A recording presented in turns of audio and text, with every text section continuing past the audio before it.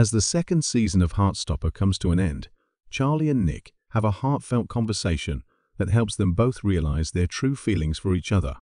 However, despite their honest talk, there are still some unspoken words between them. While the finale follows the narrative of the original comics, it also leaves us with a cliffhanger, igniting questions about the possibility of a third season.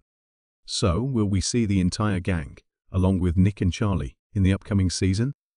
Let's dive into everything we know about the potential third season. Yes, Heartstopper has been officially renewed for a third season, as was originally announced. However, there are no official release dates available yet. We will keep you updated as soon as any information becomes available. As for the storyline of Season 3, the first episode's title Love gives us some hints about what's to come.